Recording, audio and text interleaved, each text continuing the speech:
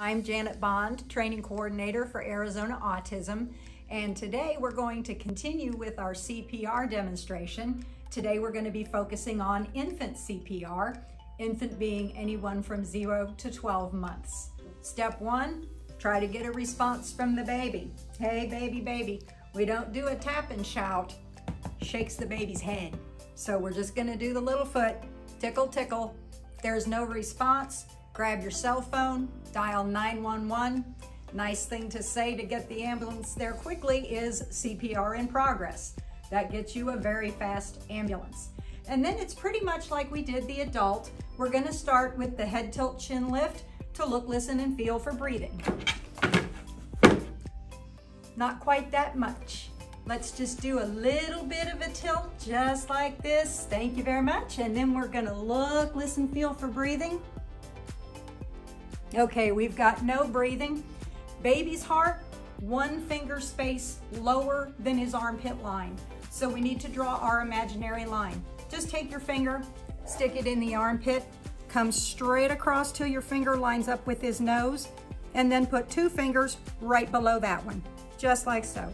And then we're going to do our compressions, one third the diameter of the baby's chest. We're going to do 30 of them, counting out loud for me.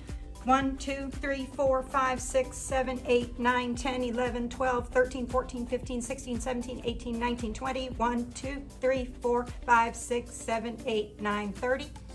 Then you take your little mask, you place it just like on the adult, and you wanna hold it down, make a nice tight seal. We're gonna tilt that baby's head back and just puff in till you see the chest move. Two breaths. And then once again, you're gonna draw your line. One, two, three, four, five, six, seven, eight, nine, 10, 11, 12, 13, 14, 15, 16, 17, 18, 19, 20. One, two, three, four, five, six, seven, eight, nine, 30. Two breaths.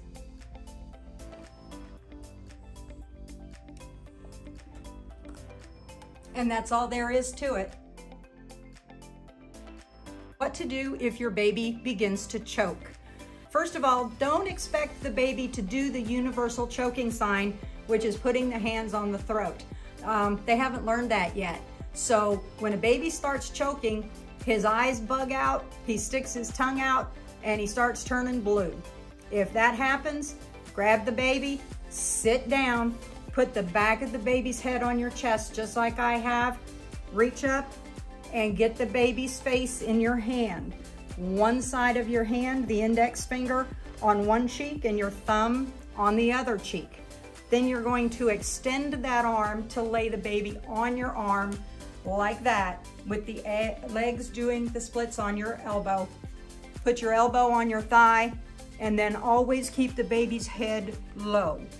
We're gonna use the heel of our other hand to strike the baby up to five times right in between his shoulder blades right here. Looks like this. One, two, three, four, five. If the baby's still moving but he's not screaming, he's still choking but he's still conscious. So we're gonna stabilize the baby's head first and then roll the baby onto our other arm, again with the leg split across your elbow. Keep the baby's head low, put two fingers on the chest, and give five little CPR pushes. One, two, three, four, five. If the object does not come up into the mouth and the baby does not start screaming, the baby is still choking. Go back to the first one. Get the baby's face, roll that baby right on top of that arm, head low, and one, two, three, four, five. As long as your baby's moving, but he's not screaming, he's choking, but he's conscious. As long as he's conscious, we're gonna do five blows on the back and five compressions on the front. Five on the back, five on the front. You're gonna keep doing that until the baby screams or stops moving. If he screams, that's what we prefer. That means the object has come out. If he stops moving, he's gone unconscious, but he's still choking.